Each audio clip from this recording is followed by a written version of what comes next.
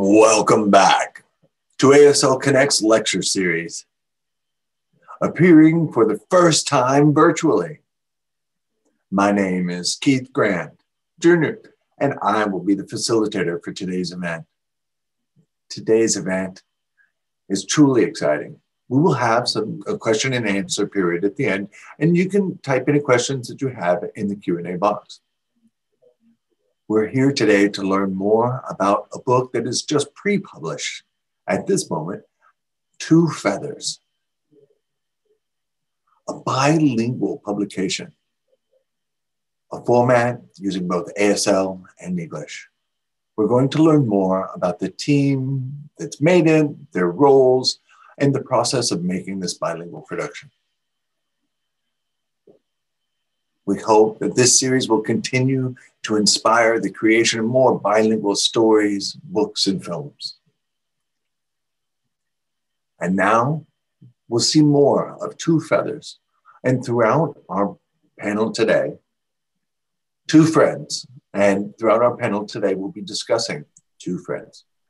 Susan was a self taught woman who traveled throughout the country lecturing.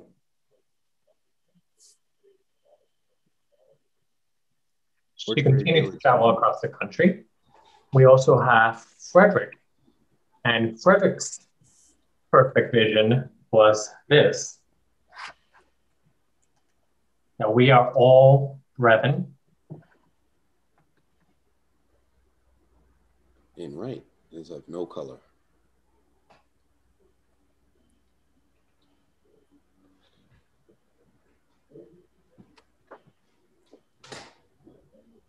Wow.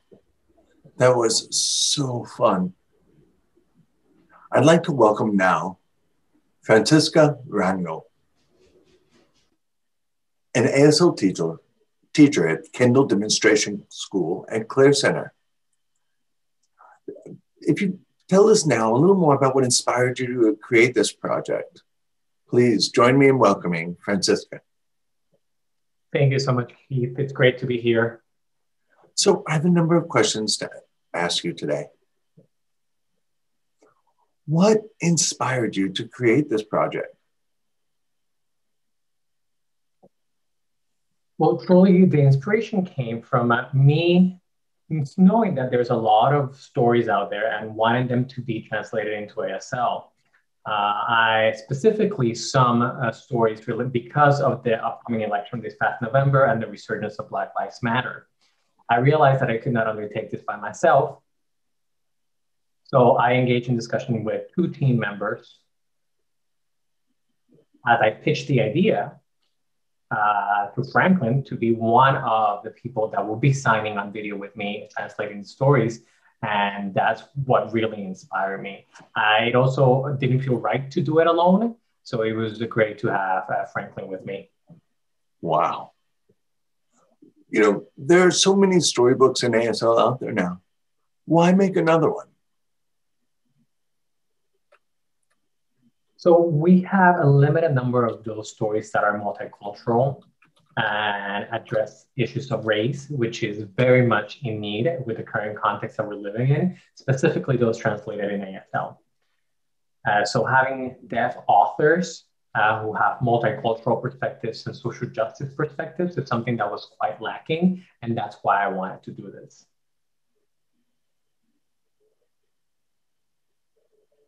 So these themes need to be more readily available to the deaf community. So I'm thrilled that ASL Connect. Indeed.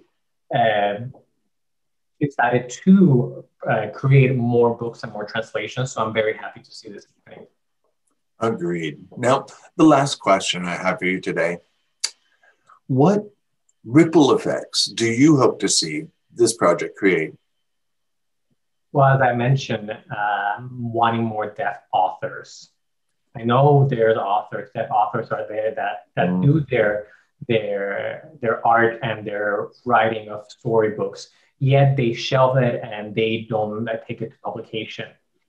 However, we want to take this to publications and have, have these publications that are accessible in language that are within the context of the deaf community and deaf culture, and that share and we spotlight different cultures and, and diverse and the diverse uh, population that we have in the deaf community. So deaf children have someone that they can look up to that looks like them, that they can connect to, that they can see themselves reflected in.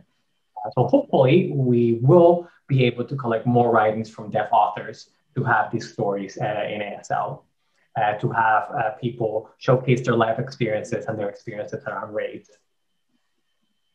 I do know some deaf authors out there, so I'm hoping that to nudge them and have them send me some of their writings.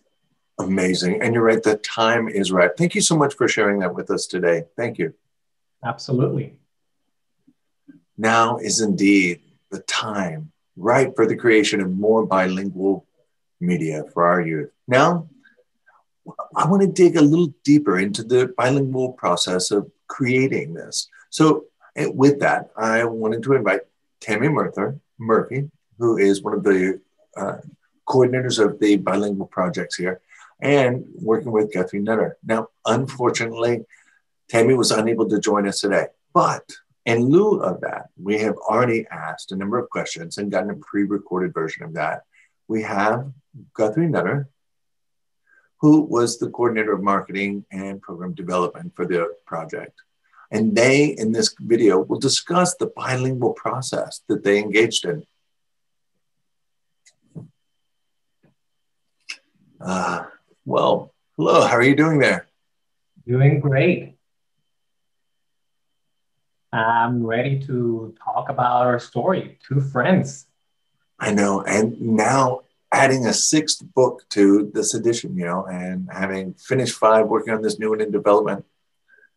Right. I'm so happy that we were able to start the first one with Joseph Santini and Francisca Rangel, uh, but and having more stories that represent diverse cultures.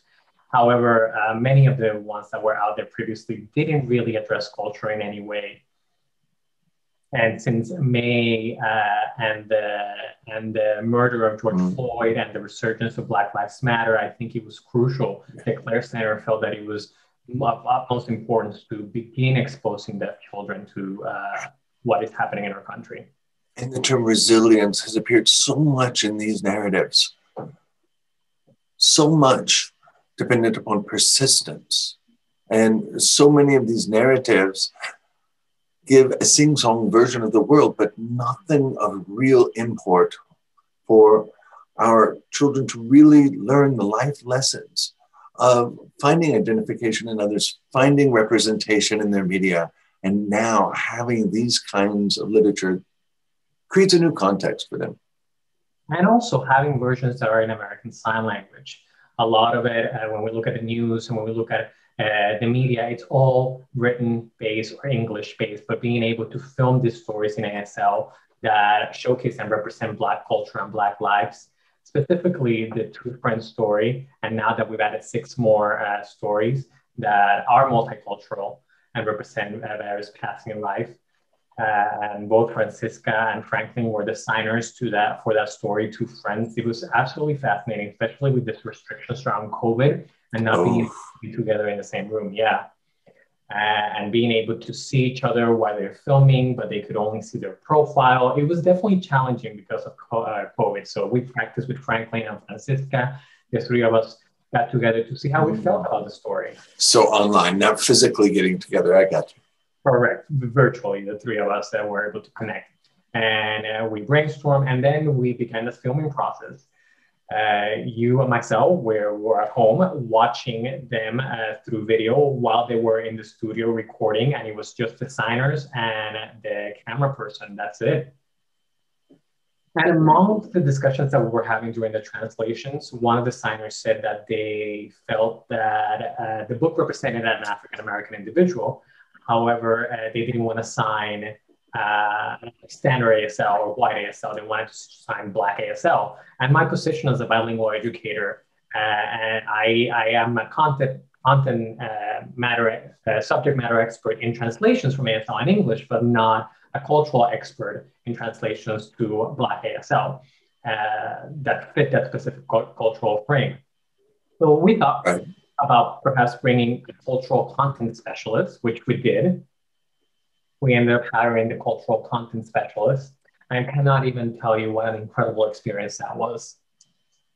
Er, indeed. And I'd add to that that what was so amazing about this was that it was a transformation of the workspace. You know, the we had both the black author, the black cultural content specialist, the videographer, the pre-meeting, all of us came together to really discuss the direction, how the filming would take place, how all of this would play out. And when things came up, you know, we made sure that we had access to those, you know, really important, very real conversations to put everything on the table for us. And to have had that opportunity for that conversation, it typically falls to somebody who is merely in their discipline to control their discipline and nothing else.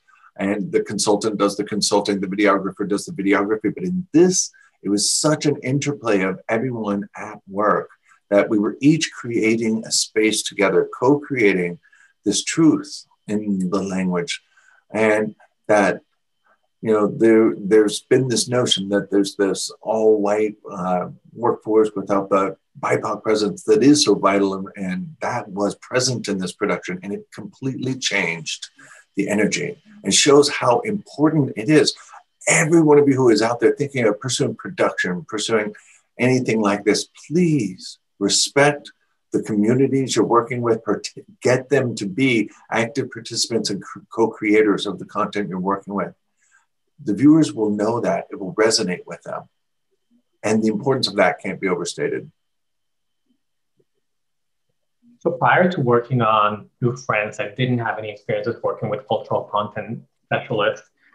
Uh, however, as I watched the content cultural specialists work with designers and providing their consultation to them, uh, I realized that that was not uh, the role for me. Uh, I am a translation specialist.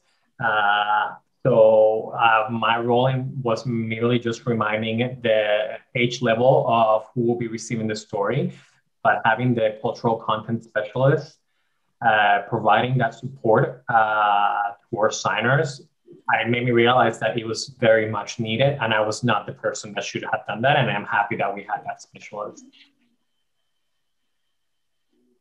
And the fact that it was just so authentic and organic, the process that the signers went through with the cultural content specialist that made the space just be comfortable for everyone who was participating. And this is something that needs to be a standard moving forward. Uh, it's not a want, it's a must from here on. Absolutely. And we really worked to lay out the best practices for this moving forward. So, my position as a bilingual educator here at the Clerc Center, uh, I want to make sure that we have available three versions of these stories. Prior to COVID 19, a lot of ASL stories, there were a lot of ASL stories out there. There were phenomenal ASL stories that were uh, published. However, after COVID and, and the limitation of school children being at home, and we really want to be able to still provide that bilingual education, we also need to provide them access with English versions of these stories. So we decided to go with three versions. One version that was purely ASL without captions, just American Sign Language. The second version was uh, in ASL with English captions at the top. However, the ASL even added more uh, substance uh, within the story than just what the captions were giving you. So things, uh, and we very much uh, want to make sure that deaf children have this bilingual access. We also uh, added image descriptions as well uh, what the characters look like in the story. And that was part of the ASL version that did not show up in the caption. And we also included voiceover in that second version from provided by DPAN. Um, maybe for audiology students or parents who have deaf children are able to engage with their children while also using these stories. The third version is one that was purely in English. And that way we have all of these options for anyone who wants to access it in whatever language.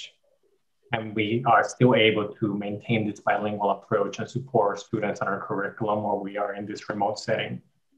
Really amazing collaboration there with the Clerc Center, and so wonderful to see all that's happening there with ASL Connect and the Clerc Center. The collaborations that we've created here are amazing. Great things are happening, and it's been an honor.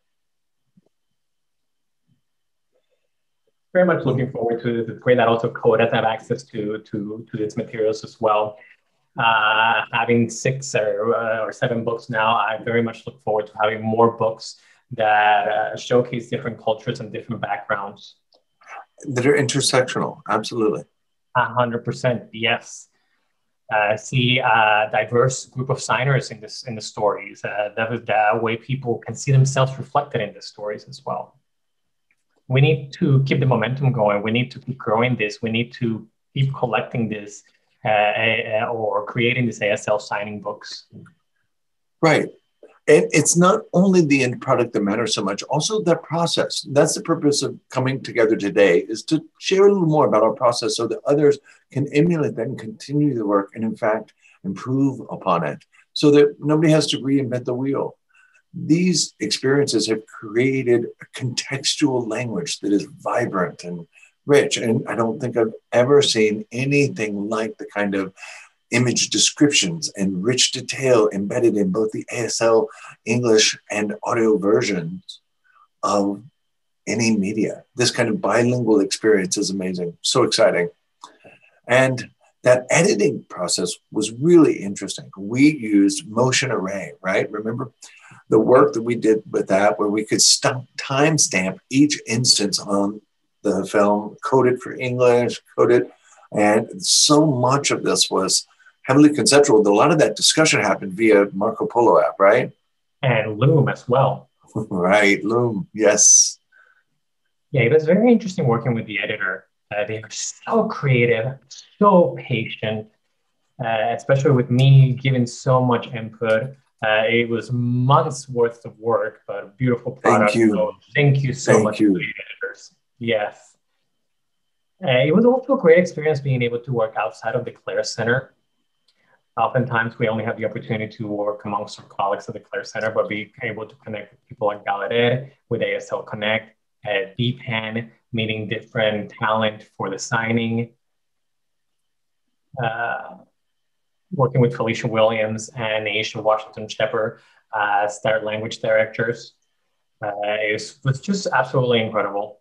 Uh, I got an incredible group of people and again, the experience of having the opportunity to work outside of uh, the Clerc Center was great. Truly a sense of community, all of us coming together to co create something so profound.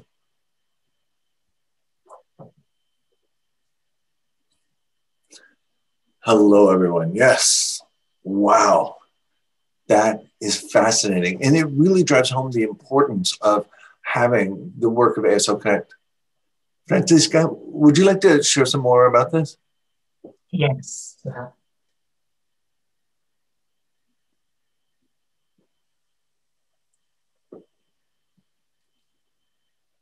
So, being able to have these stories for children uh, at all ages, for the community, high school children, elementary school children, and be able to showcase live experiences having it in multiple languages accessible to everyone and having representation uh, i think it's definitely uh, important. And one of the books definitely does that i think that's uh, great. Also some of these great great cute this some of these are not cute stories. Uh, these were uh, or, uh, these are just children's stories. They were written by high school students who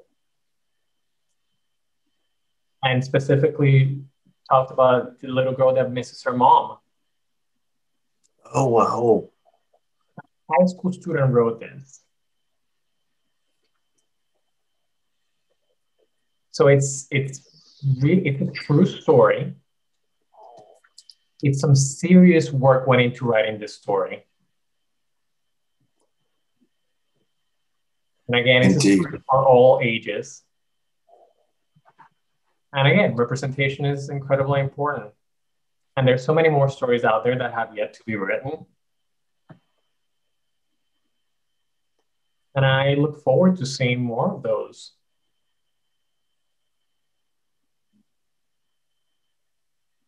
And to be honest with you, oftentimes the writing process can be painful. It is painful for me at times. It does take time to unpack and be able to put pen to paper.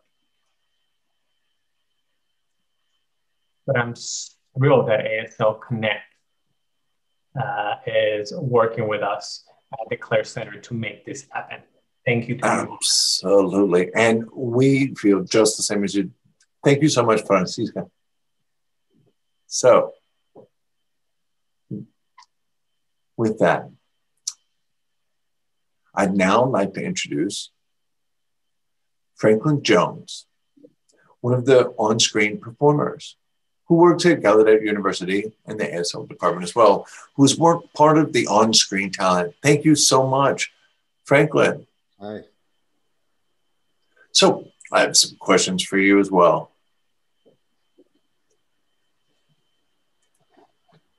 What was the experience of being on screen talent during an era of COVID with physical distancing like? Sure. Um, you know, normally well, naturally, when COVID came out, everyone was fearful and thinking about social distancing and whether or not it was safe to be around one another. But after entering the environment, I see that they've already had measures put in place for social distancing. So, you know, the first time I thought to myself, how's that going to work? You know, you're supposed to be six feet apart. Uh, I know that everything else can work, you know, remotely, but once we realized what accommodations were in place, it was a pretty good experience. And what about for you, Francisca? Fairly similar to Franklin. However, uh, not having access to a printer, I do like to have the paper material with me. Oh. Uh, and they were, and there were so many pages in the script, and having to do all of it on the computer, that was definitely an awkward experience for me. Uh, I did actually go to Gallaudet and I printed the script, and that was oh. much easier to be able to practice uh, before the recording. But uh, realizing that restriction of just not having a printer, how it can make it more challenging. Uh, I thought I was going to be alone. I knew I was gonna. I went. I went alone to Gallaudet just to ensure that I was uh, everyone was safe uh, due to COVID. And then during the filming, when we had to go virtually and have all of our lines memorized, uh, it was mm. just an experience. Wow, amazing. Another question for you. During the filming process and in the performance of your stories, how did that go, having to adapt during the, the performance as you went? Yeah, it really helped that I already had prepared. So it was kind of in me because of all the practice that I've done. Uh, I think there was a piece on Harriet Tubman I did, but I had already rehearsed it enough to the point where, like I said, I could just recall that. Uh, so when I got called in to, to film, I already had it. I think the only difference was that, you know, I had to work remotely. Um, and usually it's in a space where you can work with other people, but I had to do it on my own, send the film in. You know, and after sending my film in, like what Tammy mentioned earlier, we'd get feedback and then make certain changes that need to be made. Uh, however, when it comes to the preparation and that process, that was a great benefit that allowed me to really capture the story. Wow, what a different approach. Francisca, more to add? Uh, yes, again, just like Franklin, uh, doing it via Zoom, it was a bit of a challenge and it felt a little bit unnatural. And sending it over uh, to, to the producers, that was most definitely a challenge working remotely. So, one last question to ask you. So, again, being the on screen performer there, what's that? Ah, okay. So, during the filming, how did you adapt to camera location, things like that? Did that prompt any changes? Definitely. Franklin? Yeah, definitely. You got to know which camera you're looking at. You know, sometimes the camera's set up on the right or the left. So depending on what part of the story you're in, you've got to know what angle you should be looking at. Now, generally, I try my best to kind of follow my gut and think what would make the most sense, and that wasn't too bad. But for the for the scene where I had that small cup, you know, it was kind of uh, I wasn't sure exactly which way to look when I was doing that. I was trying to think about you know how it looked on camera. So in certain instances, it was a little bit of a challenge. Ah, uh, Francisca. So during the translation process, at the same time taking into account the different camera angles, uh, getting multiple perspectives on the potential translation or interpretation of the source, it was just a fascinating I learned so much.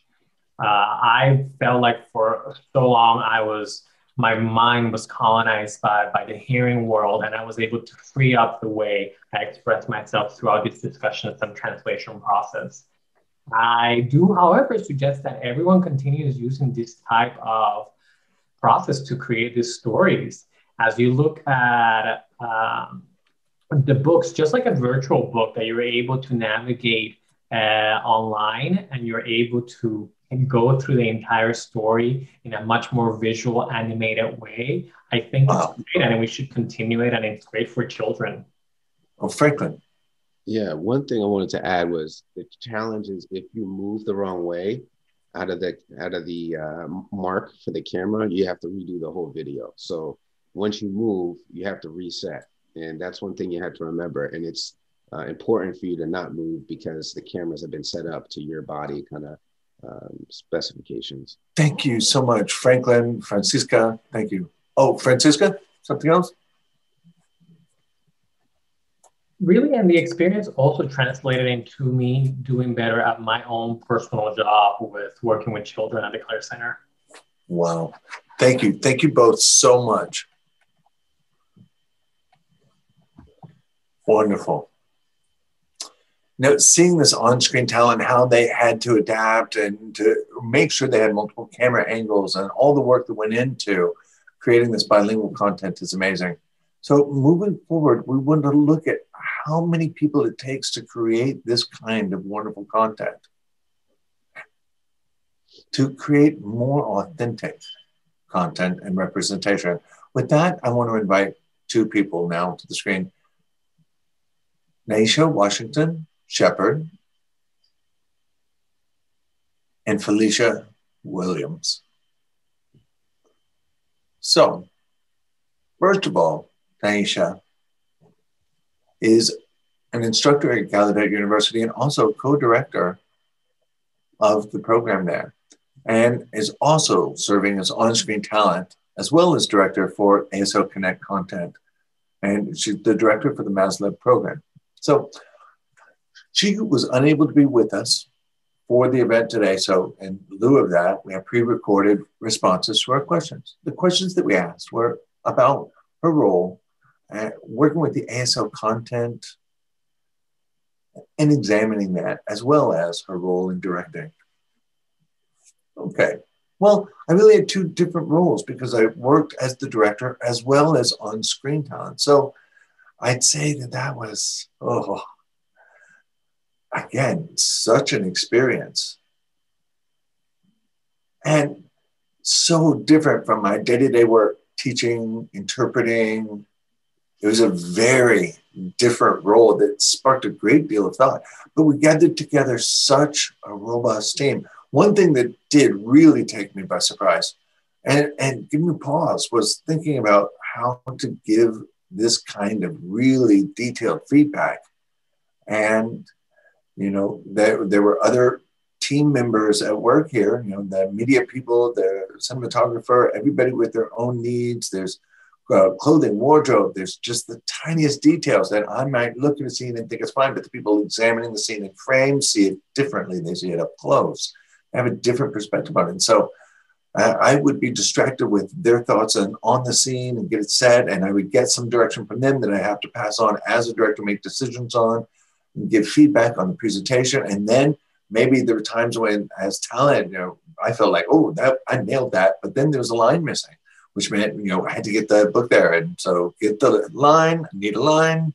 And just working together as a team was so important to this. Now, one thing that did frustrate me at times was where I would find the nuanced thing about it that wasn't right, and the team thought it was all right, and then it, we needed to change it no matter what you know, you can rehearse as much as you want, but when it comes time to do the performance, sometimes if the lighting is just a little different, it just sets it off wrong and it just changes it.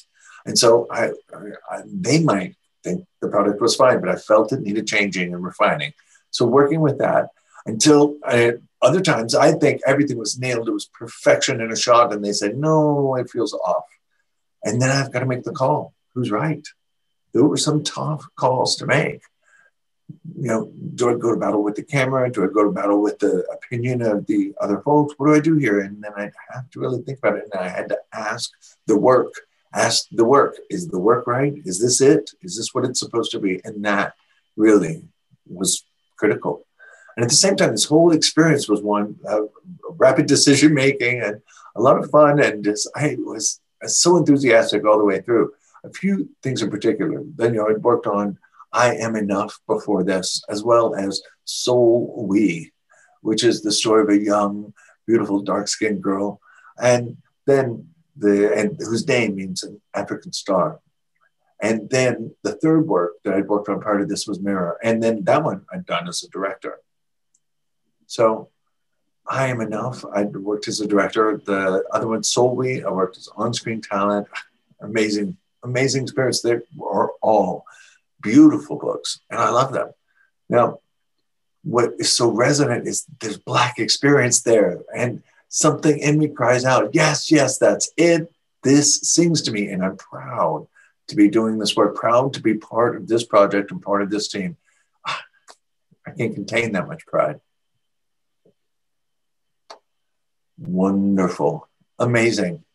And all of the rehearsals that take place up to this, and then to have to shift right there on the spot and go in new directions with it. So, another question your role as director and also with the ASL and cultural content there, tell me more about what inspired that role. Okay, a little about my duties. There were two different positions. One was as consultant, we're discussing the content itself. The other was the director role, wherein I've got to make the changes, give the feedback, make sure the content gets made right. So, in one role, there's more the action of getting in there, digging into the translation, and having the cultural uh, competencies and the consultant there to feed into that creates a richer translation. So sometimes I'd have to be back there in that other role, and then I think of one as the role where I'm sitting down thinking about the work, and the other where I'm up there and doing the work in a very different way. But the work of translation is so valuable. That experience has really taught me to think through how you place the audience at the forefront. What this means to me is something that I have to dig into, fully realize so that I can embody those characters and give life to that representation and dig into its inferred meaning, make that really explicit and clear, and so that it's not merely letters on a page, but a landscape presented live for the viewing audience, so that it's something that as you read so often, you create a mental landscape. I wanted that landscape to be alive on the screen for these deaf students and deaf readers all across the world. There's so much need for ASL content out there. There's so much existing English content. So, what I want is to bring these worlds of imagination that exist. It is our duty to bring those to life for these audiences of young children, adults, and all the viewers, you know, uh, people who are learning ASL later in life, people who have lost their hearing later in life, people who have been born deaf and raised with the language. It, this content is important to all of them, and I'm so proud to be a performer and director for it. And when I've had to sit down and dig into the book and get into other people's heads about the translation, about the meaning of the work, I, is something that brings out more detail and more richness until I have a confident hold on the meaning and can work on the rehearsal. I would say I average four times of, of full rehearsals of, say, two hour sessions uh, each time of rehearsals until I feel on the ball, ready to go. And then that day, I set my target to try to keep it tight, you know, not to go in and just do a hundred takes. You know, I try to get in there with the mentality I've done the practice, I'm here to do it, it's time to do it. And do it. And then that day, you know, usually it's around six hours, four to five hours sometimes in a session. And my performance time was one thing. That I'm thinking of in one way, but then I have to put on my director's hat. And then that brings totally different level to the work, a different level of critique and thought. And, you know, it's not easy to critique my own translation that way. And I have to see whether it landed the way I meant to throw it. And, you know, the day of filming, you know, it's not just that I practice it beforehand. And still, I think, yeah, and, you know, something comes up there in the performance and in the translation that you have to tweak. You have to change it. You have to work with it. And you just never know how you're going to have to fine tune this. You really got to take detailed notes. And it's both your job as the director and the performer's job to take detailed notes on what this is going to be. And when I take my notes, we do video notes back and forth. It's an iterative process. It goes back and forth and so that we've got it. And even though I'm a director, I really do the same thing with myself as an on-screen talent. I think it's amazing. Probably one of the first times I've had this kind of experience where I've been the on-screen talent and also sitting back in this other role. And it's been one that I've really enjoyed. I've enjoyed this experience. That I'd say I want more, but uh, this isn't enough. More, yeah. I'm going to direct more in the future. Absolutely.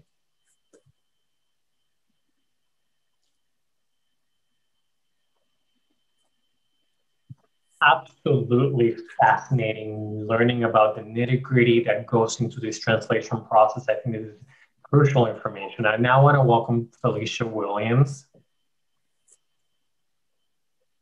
Hello, Felicia.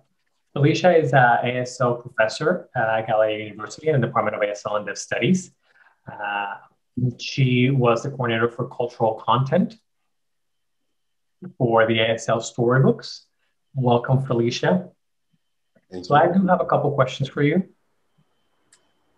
In your role as ASL cultural and content specialist, uh, and also with the filming experience, uh, can you tell me how your position benefits and apply to this process during the filming and production? Wow, uh, there's a lot there. Um, I mean, this was a new experience for me. And when they asked me to be a part of the project, you know, of course, I was delighted to, and I, I felt compelled to. But I can remember myself going through different translation process and reading books. We didn't really have anything like the space we have now, where we can capitalize on that opportunity. And we also have skilled signers who are part of the translation process, and we're very intentional with how and when we do certain things, how we set up the cameras, you know, when to work on Zoom, when to utilize other apps like Marco Polo, uh, to send feedback and, and quick messages. Um, as was shared earlier, I think having that cultural content and you know being represented in that book with ASL very clearly, very visually, you know, expanding on what some of the metaphors truly mean and taking a deeper dive into the content. A lot of the time, I found myself really wrestling with what would be the most appropriate word choice. And when we're talking about BIPOC topics, you know, what does that look like? And the result is really from gathering input from various members of the community before getting on camera. Now, there are times when, you know, I would sign something on camera, but not be content or satisfied with what I produced. Uh, there would be some times where, you know, on a certain day, I would think that I'm, you know, good to go. And when it's time to be on camera, I'm noticing that, you know, there are certain parts of my face that are not reflected the way that I want it to be seen. So sometimes I've got to make slight adjustments Sometimes I have to uh, turn my shoulders a certain way to lean towards the camera to be easier seen. So there's a lot of nuances that go into it. Um, and often in this work, I would correspond with someone else. And it, it almost meant that the non BIPOC people were in a separate Zoom room. So I would, you know, get ideas from BIPOC folks. And I also wanted to make sure that I represented Black ASL and ensure that there was adequate cultural um, you know, representation in the product and have members from the community really feel like they're represented in what they see. So there was so much context that went into it. And I would lean on that context to inform what my sign choices would be on camera. And if there were times that someone would pop up on the camera with me, visually, it just wasn't um, the best quality to do it that way. I thought that having just one person on camera would allow that, you know, that sameness, that bond, that connection from the viewer. Now, as a signer, you know, the people who, well, the person I got feedback from was Nye, which was awesome. Uh, we were able to really go back and forth based on the books. Um, and Marco Polo was was the best way for us to go about sharing that feedback. And when it was time to produce something, you know, it just felt like it was a different product after working with Nye through Marco Polo. So that was an awesome experience, you know, being able to have folks that are, you know, BIPOC plus non-BIPOC giving their, you know, perspective. And we also had it set up to where they would only see me on the video. So that was very helpful in ensuring that the cultural representation was there. And I have to say overall, the filming uh, process was very positive. Uh, Lauren Brown was a part of the process, although in a different room. You know, she was there, and you know, to be able to see a black or brown body there was just very refreshing, and and allowed for that kind of connection to be made. And that connection led to me just feeling much more comfortable. Uh, there was really no stress that I can remember, you know, because I, I was representing someone that looks like me. So it was nice to be able to have that conversation and, and have that experience. And I feel like the signing actually went pretty well. Wow, that sounds incredible. I do have a final question for you. Um, so, for what advice would you give to productions that plan to feature uh, BIPOC or uh, multicultural or deaf uh, cultural content uh, type of productions? What advice do you have for them? Well, from the books that I was able to read, uh, I guess the advice I would share is this. I would strongly encourage you to please use a BIPOC consultant who can have that cultural uh, relevance, who comes from that culture, because otherwise, you know, people aren't sure if what they're what they're putting on camera truly represents what they want to be represented in the most authentic way. So you really want to make sure you got BIPOC people in there, members from the community, um, serving as consultants and being able to give guidance on what certain word choice should look like, you know, language uh, based decisions. And it's not that I'm the only decision maker when it comes to these instances. You know, if there's ever a situation that I find myself stuck, I know that there's other people who are culturally competent that I can also reach out to. So in this process, it's key, you know, knowing when to make certain decisions and, you know, being that this was a safe space, uh, it was it was such that I was able to make certain artistic decisions versus a non-BIPOC person making those decisions for me. So I wanted to have full kind of artistic control over what was, you know, what I was producing, what I envisioned. And I think my advice to you again, when it comes to translating from books, don't have non-BIPOC people making those decisions. You want to give BIPOC, you know, the agency to, to make those decisions. Uh, if there's more context that's needed, or information that's needed, additional information, you know, those are some things that, you know, you can add in. But for the most part, we want to have the substantive consulting coming from BIPOC folks.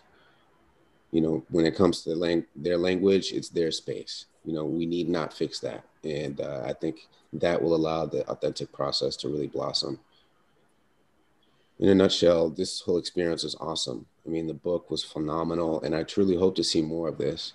I think this was really a, a starting point for a trailblazing kind of activity, and I'm looking forward to, you know, the direction of this, and you know, seeing how certain decisions and details are made as it relates to the work that I did here, and also tying in members of the BIPOC community so that we can make our decisions together. So I think that's how I'd summarize what advice I'd give, and I look forward and I'm excited to doing more. Thank you for that advice. And that role of that consultant is so important. It's something that I, as a white person, could never authentically bring to it. Thank you so much. Thank you, Felicia. Thank you. Now, with that, it's fascinating how important it is to bring that ASL competency and cultural competency to the table. Next, I'd like to look into that cinematographic uh, process. So with that, I want to invite Javier Taveras. Hello, everyone. So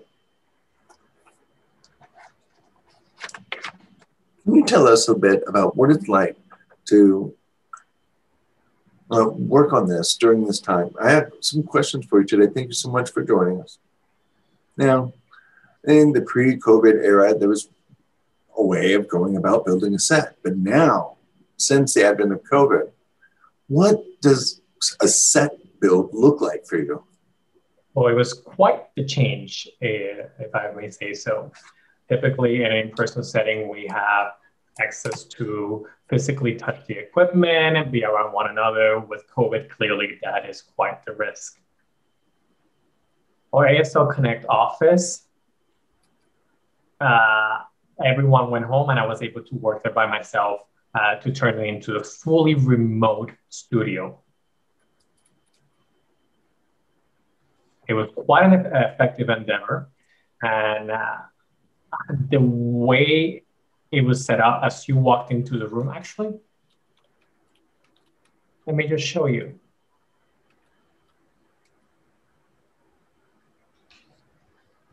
Apologies, wrong video.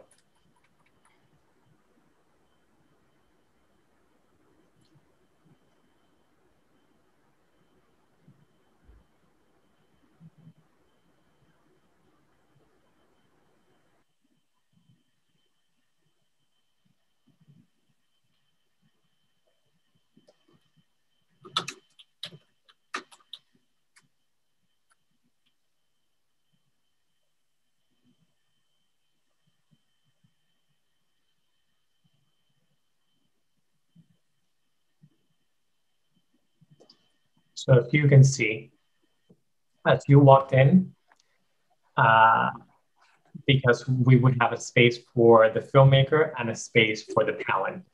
So actors would come into one space that you saw marked, and that was the space where they were able to interact mm. with ASL specialists without the presence of the the cinema, cinematographer. Uh, then we were connected remotely with the rest of the team. Wow. To be able to engage uh, with the ASL director. And again, also for the actors and the directors to be able to have that interaction with one another, which is so important for the production.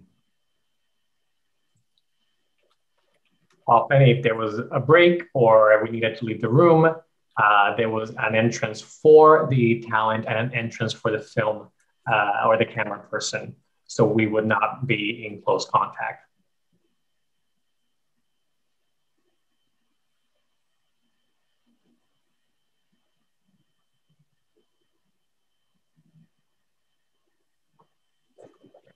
So we uh, also uh, set up a system so everyone could see themselves uh, while the production was being shot. That way, everyone had access to what was happening in real time.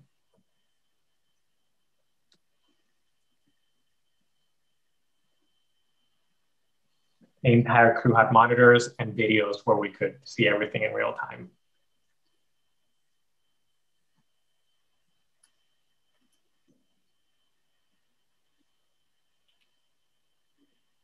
Wow. Great. So, the second question I have for you today is prior to COVID, you had a particular process for filming. Tell me a little more about what that process traditionally looked like and how does that compare with the post COVID era for filming? Javier? I mean, you're absolutely right. It is definitely different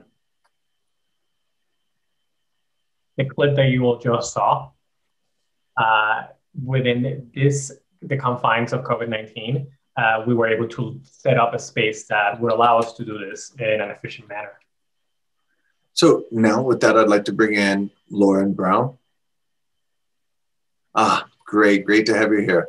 Hi. So, Lauren, Lauren works with ASL Connect with as media digital specialist. So, if you could tell me a little more about your role in the editing there, that's going to be great. Great to have you here. And I have uh, some questions for the two of you. The first question is after the filming and the editing was done, tell me a little more about your post production process and how different was that than the pre COVID post production?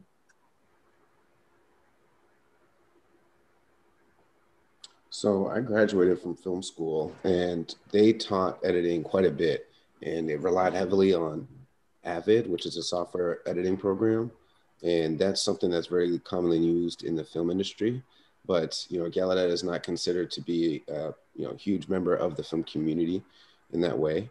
So when we talked about their teaching mm-hmm. methods, what I used was Adobe Creative Suite uh, which is their program, uh, AE After Effect, and uh, Adobe Premiere Pro. Those two were more kind of uh, generally used, although there are some uh, certain degree of specializations. For the most part, the everyday editor can use those. Mm. Uh, for me, it was a huge shift from what I was taught in film school and everything that I knew. And, you know, it took me a while to learn how to use this Adobe stuff. But I was very fortunate to mm. uh, be on the board working with the ASL Connect team, especially during the times of, you know, COVID 19. I just, uh, I feel like I've been blessed to work with such an excellent team and I've been able to develop my skills in Adobe and uh, Premiere Pro. And I think that I'll become much more proficient with it over time. Thank you. Thank you so much for that. Now, I believe we have a video to show.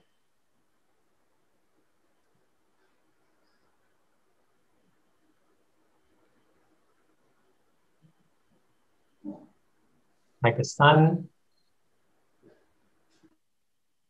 I'm here to shine.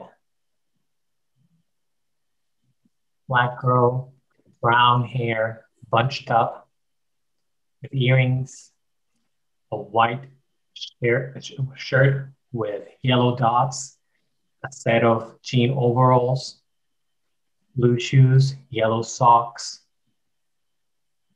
and line, her light shines.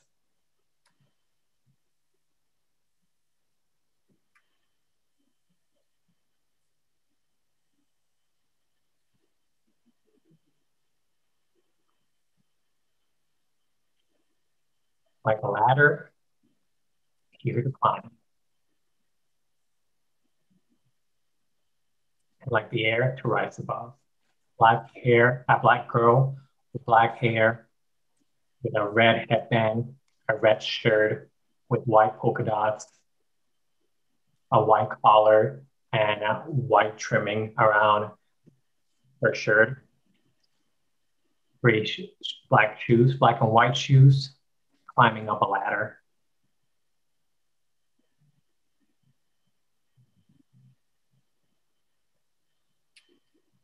Wow. Amazing work. Great, great. Just amazing post production work, editing work. I'm so delighted to have you both here and ask you more about this. Creating bilingual media content is such a rich area. What advice would you give to new creators wanting to get into it?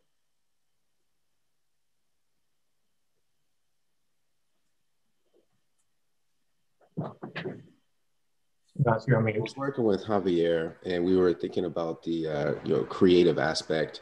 We would meet with the signer, and it was interesting because the signers, ASL coach, and ASL directors forgot a key role that was required for everything to really um, tie in together.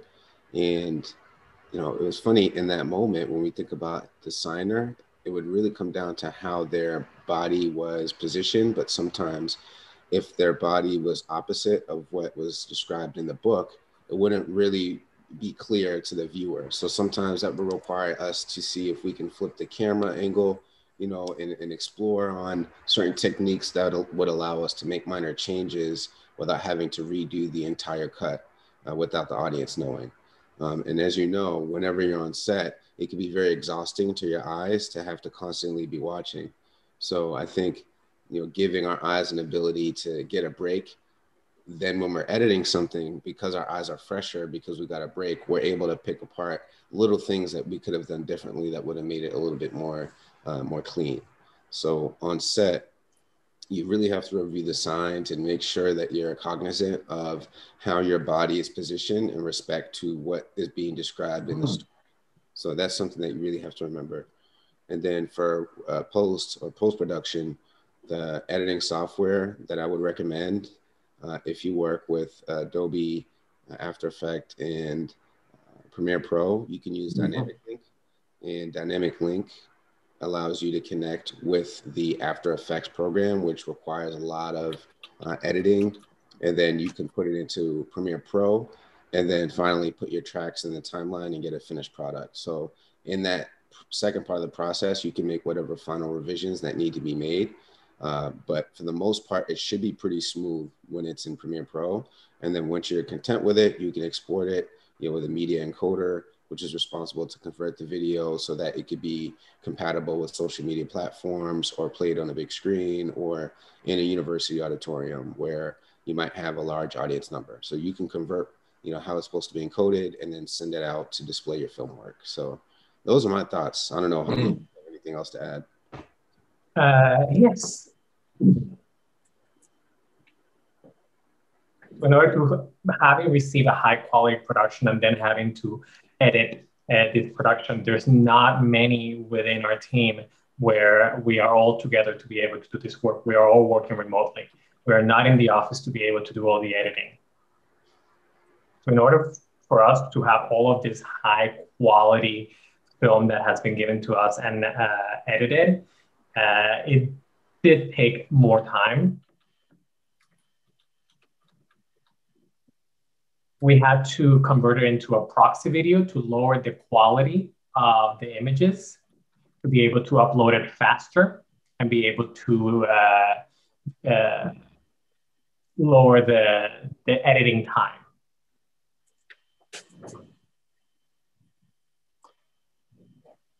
Uh, a couple of months ago, we were required to wait two weeks prior to uh, be able to go to campus to be able to be tested. Now it's uh, a week uh, with the changes in the COVID, COVID restrictions.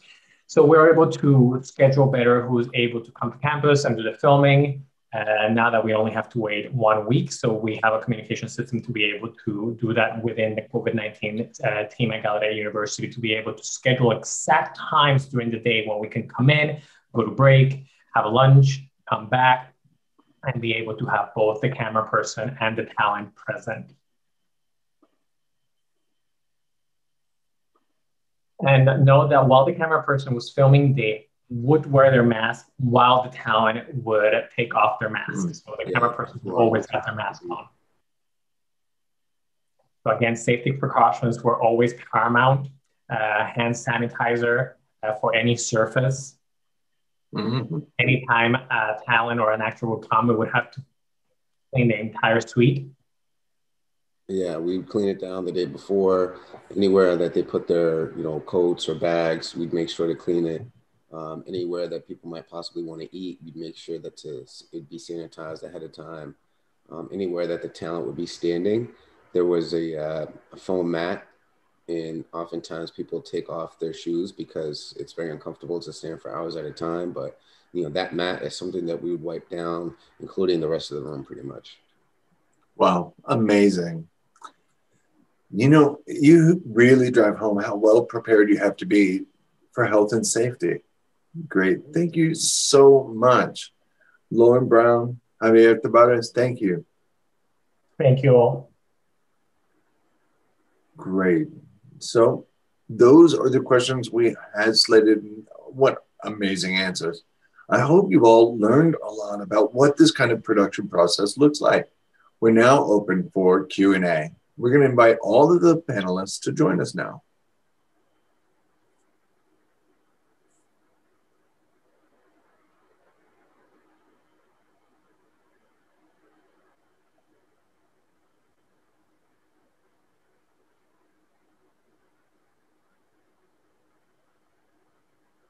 The audience has a question. What books are you hoping to see uh, be provided in ASL stories? Okay, so now one of the questions that we have from the audience is about what books you want to see made in the future.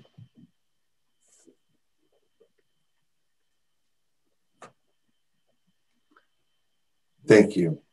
I really hope to see this kind of project become the norm not the exception to the rule and not something that seems a challenge to be surmounted, but a delight to create and, and work on.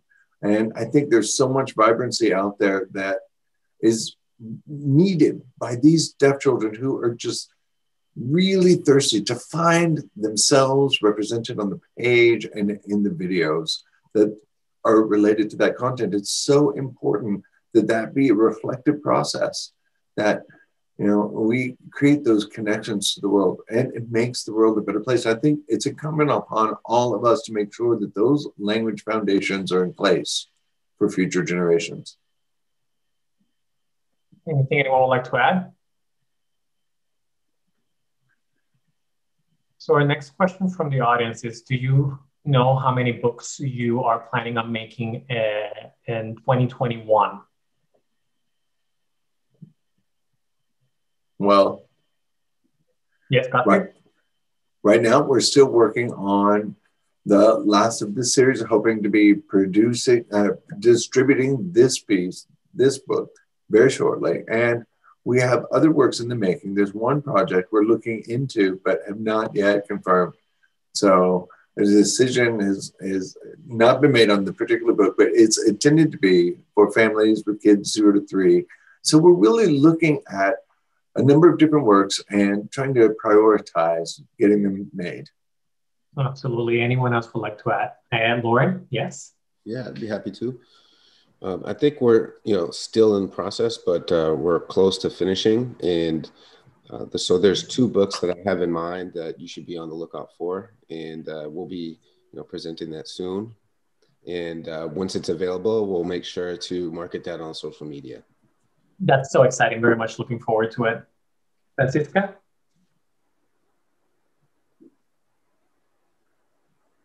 I also want to see more chaptered books uh, for higher grade levels. Uh, oftentimes uh, within deaf education, uh, we don't have a lot of text chapter books uh, that are used as resources in the classroom for deaf children. So I would like to have those in ASL as well. Uh, I think those are more for third, fourth, fifth grade students fourth and fifth grade students to really start understanding their academic content in ASL. Because uh, there's a lot of content, complex content that comes up in those grade levels. So I would love to see, again, uh, more of that. Yes, from uh, birth, uh, teaching uh, basic vocabulary, and also for those children who are L1 in whatever particular language, uh, so I think there's a lot that ASL Connect can do, and I hope with many of one's contributions, mm. it's just going to keep growing. Javier. So I came from a hearing family. So now being part of the ASL Connect team and working on this book and looking back at my own experience with my parents not knowing and having any access to resources in ASL, me being their only deaf child, so when I was growing up, I didn't have anything. We had to go to uh, college to be able to find resources for me. But now we have this available for deaf children. Uh, here on the web is going to save time for hearing parents. They can just go online and find incredible resources for the deaf children. So I'm very concerned about this work. Amazing. Franklin. Yeah, I just want to say that we do plan to have more books on uh, diversity, you know, women, diverse men. Uh, LGBTQ topics uh, and include that for you know family members because there are times where language is difficult to access at home and you know this could provide an opportunity for deaf children to learn the language even if their parents aren't deaf, even if they're hearing, they can still share the same language because of what they're learning from the books. You know, the parent can actually become a teacher uh, while they're reading these books. You know, otherwise, there's not that structured time that children have to get these kind of lessons and opportunity to practice sign language. So we want to make sure that there's an abundance of resources available in which children can access sign language while you know doing so with their parents. So we'd love to mm. see that. I completely agree, Felicia yeah, just to chime on uh, to you know what Franklin shared, diversity is very important, and not only when we're talking about physical you know people, but also diversity in language. You know, I'd love to see LSM or other languages be developed and uh, shared when it comes to these signing stories. We need to think about how often these opportunities are out there, and we know that we need to provide more of these kind of opportunities. So I look forward to you know, seeing more BIPOC uh, talent, editors, language consultants, um, more space that's safe for them. And the goal should really be to expand the core team in a lot of these different areas, not only K through 12, but general, you know, uh, people in the community that would benefit from having this as a resource.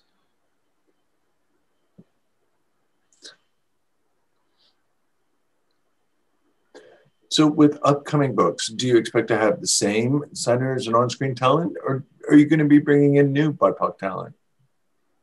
I can answer that. Felicia? So the current book uh, that we're working on has all types of different signers. The consultant and I, uh, Nye, uh, we're the two of us consulting. You know, we have, I have my way of consulting, Nye has hers, but we expect to see more and more people participating and expanding the pool. And as people gain experience, you know, we can widen who can give that artistic input um, and consult, and we can pass the torch. You know, I'd love to see more opportunities for other people who their experiences haven't been represented, share feedback, and help us improve the quality of work. Anybody else have other responses to that? Okay, next question. The stories that you're telling and performing, do they really take a lot of changing due to the cultural competency co- consultants? How does that work? Well, you got to remember how fast you know time flies by. So when I was asked to, to be a part of it, you have to really know the background of the story first. You can't just sign it without knowing it. You have to really study it, and you know as you keep doing that, you internalize it. So once you internalize it, then you can you know put your feedback in certain documents to prepare for how you'd like to film. Uh, acknowledge the different pieces that need to be incorporated as you share feedback and you know make your suggestions then when you meet again in person you're able to be on the same page mm-hmm. and feedback that you share in person is not going to be you know unknown so it's based off that previous feedback and it just allows for an ongoing kind of feedback process to continue and when you're working one-on-one it allows for a much closer relationship um, i think usually it'll be either two of us or the three of us though we're giving feedback to one another oh. Felicia? Sometimes the books can have their own hidden metaphors or cultural nuances. And something that I always like to do is have conversations with other people like Nye, like, what does this mean to you? So when you read this, how do you kind of envision the author intending us to take that away? Having these conversations allows us to be in a better space. And, you know, as talent, we, t- we kind of walk through what these different signing styles are, not so much to criticize their particular style of sign language, but really to share feedback based on the co- on the context of the story and the target audience, right? So if we're working with children that are five or younger, you know, we really have to spell things out that might not be so uh, so clearly stated in these books. And sometimes in sign language, you're required to truly expand on that content, especially again when you're considering the target audience could be children between the age of you know newborn infants to five years old. So we need more of that context being drawn out in a way that's accessible visually in sign language. And you know sometimes there are questions about to what level of detail you need to make descriptions, and sometimes it's appropriate for you to describe hair color, skin color, you know, visual images uh, that have to do with perhaps race or new words. You know, there are sometimes terms that come are new in society, and we know vocabulary mm. evolves, and we need to make sure that sign language is able to. Amazing. Thank you, Felicia. Okay, next question. Now, how do these stories that you have really get out there? If I want to get them out there, their YouTube, how, how are they getting out there in the world? Thank you for asking. We are still in the process of developing a website for the Clerc Center that will be able to host those as well. We are also sending them out. We have uh, websites and we are adding new pages to that all the time. And so you can find it at Clerc, you can find it uh, by reaching my office, you can reach it on social media. We want it to be out there for everyone. Now, for those of you who are eager to create new work, new content with a BIPOC talent, you have to be able to work with publishing companies and get that together. And working on getting ASL English work published, generally, they will ask for a number of questions, company logo, things like that, and try to work out a lot of those details. And I, I would suggest be very cautious about that process. Uh, we have learned a great deal of lessons about going about uh, about that process from this. Great, thank you so much. I do have an, uh, another question. Looking back on completing the project, what do you wish you could have improved on, and what was the, the part that you most enjoyed about this process?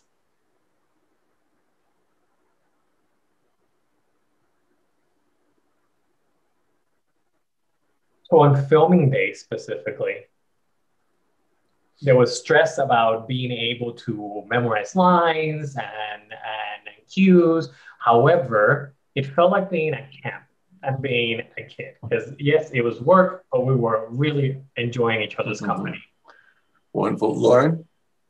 Yeah, like Javier said, it does require a great deal of energy to be able to stand on your feet all day filming and especially when we're talking about the lights getting dim and it can make you a little bit sleepy. But I think the benefit is that, you know, when you make bloopers, that kind of wakes everybody up because everyone kind of laughs and then they kind of get serious and refocus. So it's a constant cycle between laughter and refocusing.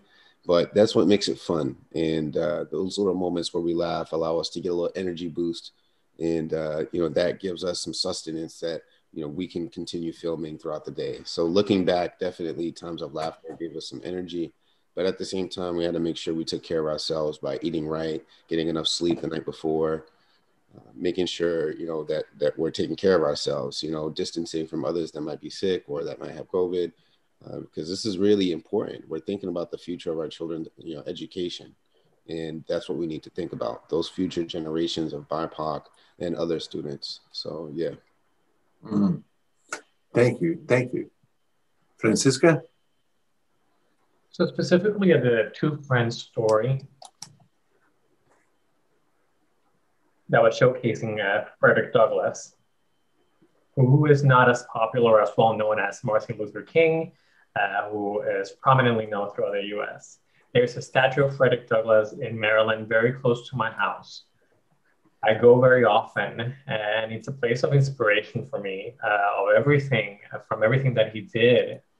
And I felt like there's more need to expose children to who Frederick Douglass was. It was definitely emotionally charged. Uh, uh, we're still fighting for women's rights to this day. Uh, Black Lives Matter. Uh, my hat off to everyone who took part of this story and creating this production. I am happy that now we have this story documented in ASL, showcasing Frederick Douglass for children to know who he was. Mm. Mm. Thank you. Felicia. Yeah, looking back on everything, there was one conversation I had with the signer, my talent on Marco Polo, and it was nice because on Marco Polo it archives some of the videos, so I can look back and remember some of the moments of you know happiness and anger or frustration and laughter and supporting folks the way that I did. And I think in doing so, I finally realized that the presence of a BIPOC person is critical. And looking back, it made me feel like I was a part of the journey with them. So again, I have to just emphasize and underscore that the opportunity for BIPOC to be involved is crucial. And I'm very grateful that all of you were mm. good enough to make that happen. Amazing. Uh, Guthrie. Yeah. I'll say one thing I'll look back on about this experience is I've had, you know, cinematography experience, I've had stage experience, and there's so much planning. It's like planning a wedding, a thousand details, every little bit to the groomsman's outfit, to everything. And then comes the time of the performance, and then everyone has the jitters, of course. Everyone's on edge trying to get it right. And, you know, there's the day to day work of it, the meat and grind of it, the emails, the work, the building up the details and the docs and the scripts and getting the team together. All of that's important to every little piece of that is key to pulling it off in the end. I loved it.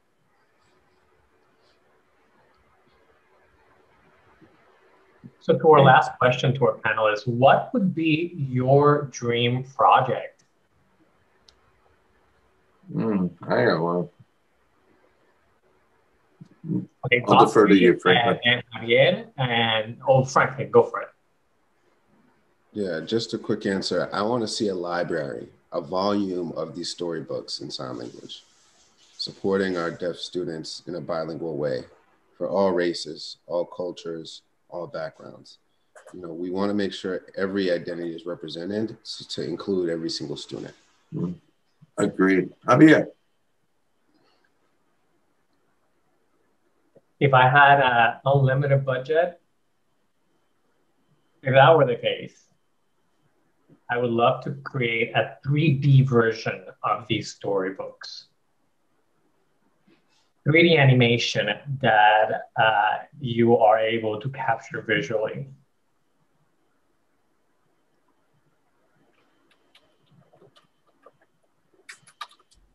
I think that will be, again, with a limited budget, having a 3D version of these stories. Uh, Lauren. Yeah, I think as Javier mentioned, you know, budget permitting, maybe in the future we can set up, you know, a sister site or have multiple hubs across the city where we can have diverse signers and they don't have to be limited to the DMV in order to be available. You know, we should be able to recruit talent in different regions as opposed to having a very limited list. So budget permitting, I'd love to see more happening in LA, New York, um, Texas, you know, different parts of the country where we could utilize the network, especially when we think about the access we have to technology nowadays. There's so many resources available. Uh, you can watch someone, you know, live with, uh, even though they might be on the other side of the country, right? So maybe these are some things that we can consider for the future, having like a sister ASL Connect site somewhere. Who knows? Mm. Uh, Francisca. Similar to what Javier just uh, said, I know that children love animation. I love anim animation myself. Uh, oftentimes, animations don't have captions. It would be great if they, we had ASL animation stories or animated stories.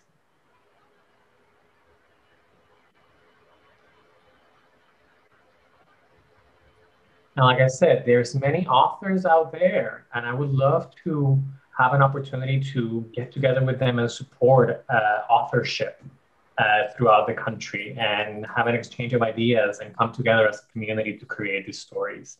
And we have to, I know they're looking out for more support, and I would like love to be able to provide mm. that. Thank you. Thank you.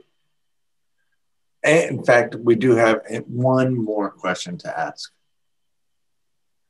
What advice would you have specifically for BIPOC in terms of being able to claim space? Specific spaces, specifically for areas where there are not BIPOC, correction of the interpretation, to create that space? I think an ASL mentoring program, that uh, mentoring program should connect, should partner with ASL Connect to provide mentoring. Uh, different associations, Schools for the Deaf, mainstream programs need to collaborate with ASL Connect. uh, this opportunity will allow us to grow our network and the programs that we can provide. And not only in uh, cities, but also being able to do some outreach to uh, the suburban mm. Felicia? You can also connect with organizations like NBDA, National Black Deaf Advocates. They've got local chapters. Um, you can also contact other, other groups such as Council de Manos and get involved with you know projects that they might have. You know, follow their pages, see what's going on. Sometimes you need to look at places other than your you know uh, frequenting sites. So you got to figure out what else is happening in different communities and organizations. Have referrals, build your network. That way, you can spread more through the organization. Mm. Javier, it is important to create that network.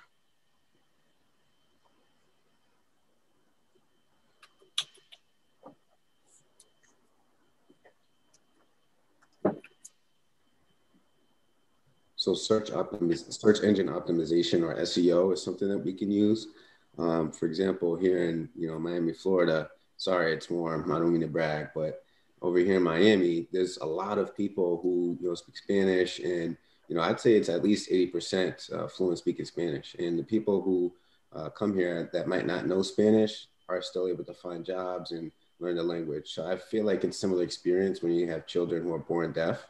You know, even though they they're an immigrant from another country, them being deaf has that unique experience with it. So I feel like there needs to be more variation. Um, you know, perhaps it could be you know bilingual in terms of having more English to Spanish. Although we know that there are some differences in, in the language. I think having ASL in Miami might be a little bit different, so we can somehow infuse you know the the culture or the language of Spanish into it. So I definitely think that could be a challenge, but maybe there could be two ASL connects, one for ASL and then you know ASL connect with you know some uh, Latinx infusion or English. It, just a point of clarification. What's so important is really to have everybody open their minds first of all, because you're going to see and experience encounter resistance, but collaborate, reach across those aisles, Get rid of that resistance. Open your minds and things will happen. Yeah, bear that in mind. So with this, this concludes our session for today. Thank you to all of the panelists for your contributions. Thank you. We could not have made this happen without you. So once again, thank you all. And with that, goodbye to everyone.